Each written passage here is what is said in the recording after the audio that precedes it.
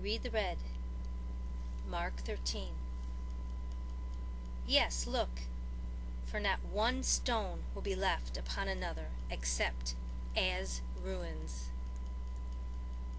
Do not let anyone mislead you, for many will come declaring themselves to be your Messiah, and will lead many astray, and wars will break out near and far. But this is not the signal of the end time. For nations and kingdoms will proclaim war against each other, and there will be earthquakes in many lands and famines. These herald only the early stages of the anguish ahead. But when these things begin to happen, watch out, for you will be in great danger. You will be dragged before the courts and beaten in the synagogues and accused before governors and kings of being my followers. This is your opportunity to tell them the good news, and the good news must first be made known in every nation before the end time finally comes. But when you are arrested and you stand trial, don't worry about what to say in your defense. Just say what God tells you to. Then you will not be speaking, but the Holy Spirit will be speaking. Brothers will betray each other to death.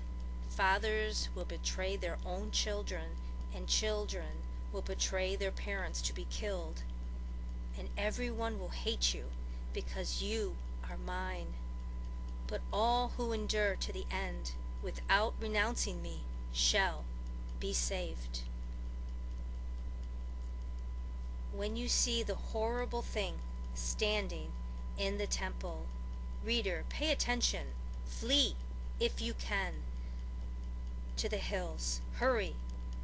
If you are on the rooftop porch, don't even go back into the house. If you are out in the fields, don't even return for your money or your clothes. And woe to pregnant women in those days, and to mothers nursing their children. And pray that your flight will not be in the winter, for those will be the days of such horror as have never been since the beginning of God's creation, nor will ever be again. And unless the Lord shortens that time of calamity, not a soul in all the earth would survive but for the sake of his chosen ones, he will limit those days. And then if anyone tells you, this is the Messiah, or this one is, don't pay attention, for there will be many false messiahs and false prophets who will do wonderful miracles that would deceive, if possible, even God's own children. Take care. I have warned you after the tribulation ends, then the sun will grow dim, and the moon will not shine, and the stars will fall from the heavenlies, and the earth will convulse.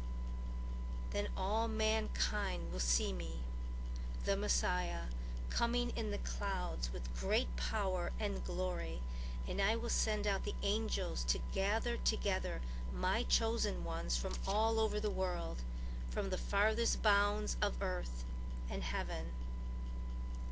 Now here is a lesson from a fig tree. When its buds become tender and its leaves begin to sprout, you know that spring has come.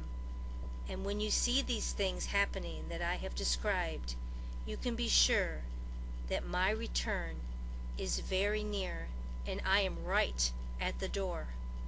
Yes, these are the events that will signal the end of the age. Heaven and earth shall disappear, but my word stands sure forever.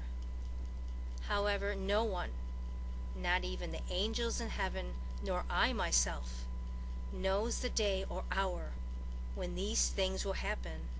Only the Father knows. And since you don't know when it will happen, stay alert.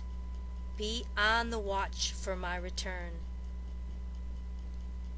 My coming can be compared with that of a man who went on a trip to another country. He laid out his employees' work for them to do while he was gone, and told the gatekeeper to watch for his return. Keep a sharp lookout, for you do not know when I will come at evening, at midnight, early dawn, or late daybreak. Do not let me find you sleeping. Watch for my return. This is my message to you and to everyone else.